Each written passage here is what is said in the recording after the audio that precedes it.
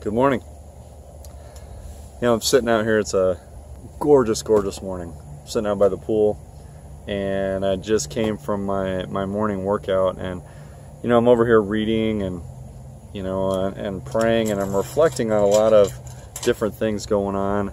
Um, been hit with some challenges as of lately in my life, and, you know, the challenges have created a lot of. Uh, a lot of emotional um, response within me uh, from anger to frustration to fear, anxiety, excitement. Uh, I've kind of run the gamut of a lot of different emotions uh, over the last five weeks or so. And, you know, as I sit here and I'm reading, uh, I think about this passage that Jesus comes up on a comes up on this well or this this pool uh, where the people would go to heal themselves and kind of lay for healing and whatnot. And uh, he comes across this paralyzed guy who'd been there for he'd been there laying there for 38 years. Now I'm going to celebrate my 45th birthday this year, so uh, this guy's been laying there almost as long as I've been alive, and that's that's pretty crazy amount of time, if you ask me. But the interesting thing that happens is Jesus just looks down at him. He saw him lying there, and he learned that he'd been in this condition for a long time. And he asked him, Do you want to get well? Man, that is a question that, man, I can I can sit and I can wallow in self pity. I can sit and I can wallow and um, doesn't really do any good. But the real question is, do you want to get well? Man, that, that's a deep, deep question. As I'm reading this morning, I'm reading a story about uh, about a Marine, and he was wounded in war. Uh, lost the use of his legs. He's in a wheelchair, and his buddies are trying to help him overcome this sense of worthlessness now that he can't use his legs. He doesn't feel like his life is worth anything. So they're talking with him. Sets a stage, right? While they're talking with him, he's talking about this deep commitment that he had to excellence, this deep commitment to service.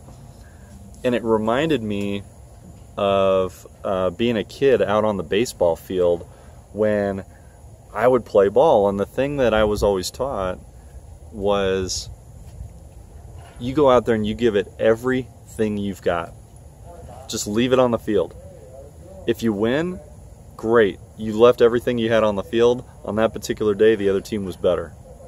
You got some things to learn, you got some things to improve in, some skills that you need to pick up and whatnot, but you leave it on the field.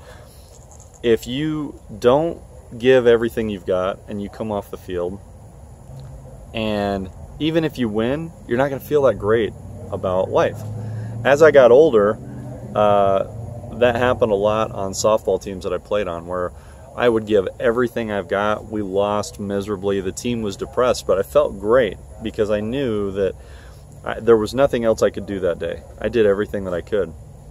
And I can honestly say that there were times that we won and I came off the field and I didn't feel all that great because I just felt like I, I only played halfway. Well, in life, it doesn't work like that. If we want to get better, if we want to get well in our life, we have to make a commitment to giving everything we've got every single time. Brendon Burchard said, You cannot become extraordinary without a sense that it's absolutely necessary to excel. You must get more emotionally committed to what you're doing profound in so many ways. That is so profound. You know, I'm going through some uh, some changes in my career right now. Um, I've got a lot of decisions and a lot of choices to make, and if I sit back and I don't do anything, I'm going to feel terrible.